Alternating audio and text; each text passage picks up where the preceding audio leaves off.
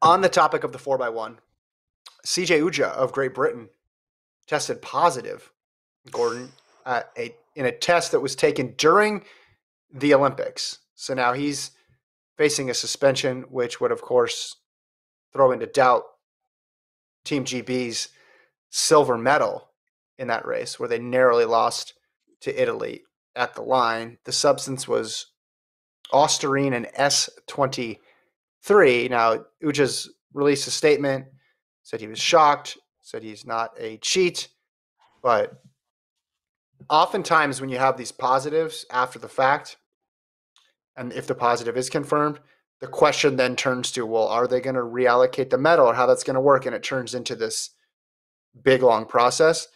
This one would be clear cut because the test took place during the Olympics. This would be pretty easy for them to go back and move everybody up.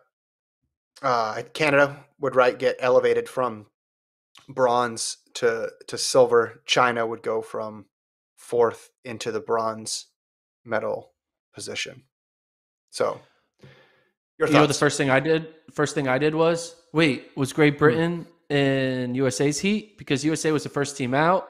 Then I could have had this whole theory like, well, if there wasn't doping in the Great Britain, maybe USA makes the final, but they weren't. They were in the other heat, so USA still would have not made the final in this situation. Unless they reorganized the heats because they weren't there and then yeah, then in. maybe yeah, you know, sit and kick four by one. That's what I'm. That's what I'm going for. Uh, but we have uh, Lamont Jacobs' headline here um, saying rival Ujah's positive test. Um, wrote accusations of doping. The situation hasn't really affected me that much. I know the sacrifices and hardships I've gone through to get here, and instead I want to enjoy it 100%. 100%. Well, that's because people we're talking about how he had a former nutritionist who's kind of linked to doping. And then he goes on to say, after seeing the investigation into Ujah, I'd say that maybe it's better to look at your own situation first before attacking others. The whole thing makes me smile. So, for those who don't know, uh, Jacobs had a little bit of a fishy headline because his former nutritionist is linked linked to steroids.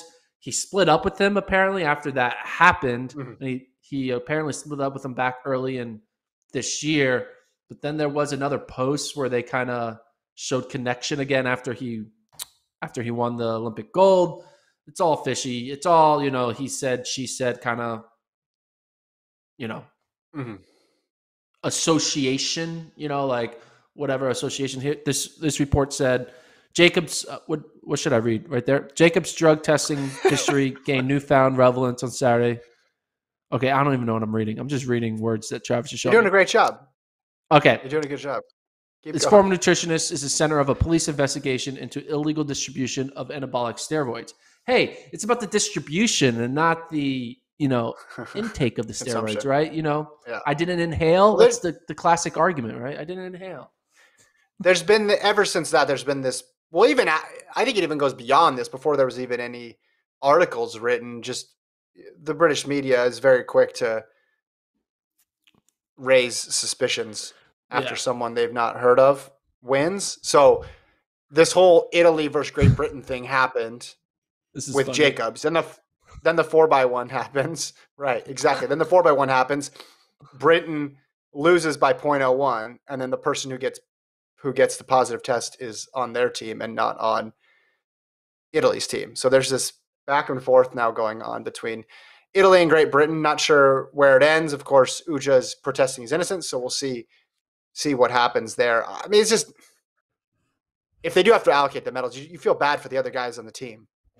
You know, if they had no because this is not as we talked about before this this whole team it's four people coming together four individuals that you throw together and it, it, it's it's not the same thing as a regular team where you can say, "Oh, just you should police yourself." Um, so I would feel I would feel real bad for the other members on the team, just as I have for other members of other relay teams when uh, a team member gets uh, gets busted and they have to throw out the medals. But we will keep track